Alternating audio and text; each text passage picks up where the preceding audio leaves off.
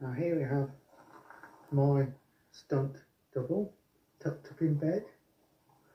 Doors open because it's such a hot day. He's fast asleep and he rolled over in bed. And what happens? Yeah.